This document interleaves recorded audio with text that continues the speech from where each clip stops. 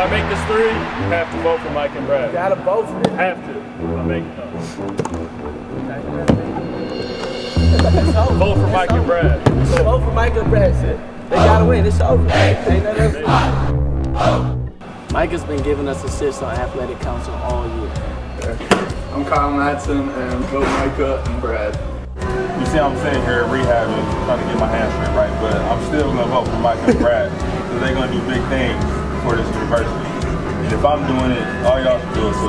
All right, and, uh, Boom, that future, boom, boom, boom. Let me get it now. Gotta get skip. Gotta get skip. Gotta get skip. Gotta get skip. Gotta get skip. Gotta get skip. Vote Mike and Brad. Mike and Brad are a slam dunk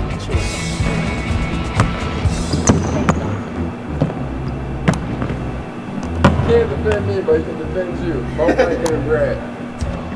I'm Evan Turner. And I'm David Lighty. Micah and Brad Our overall number one pick for student government. We are all Buckeyes.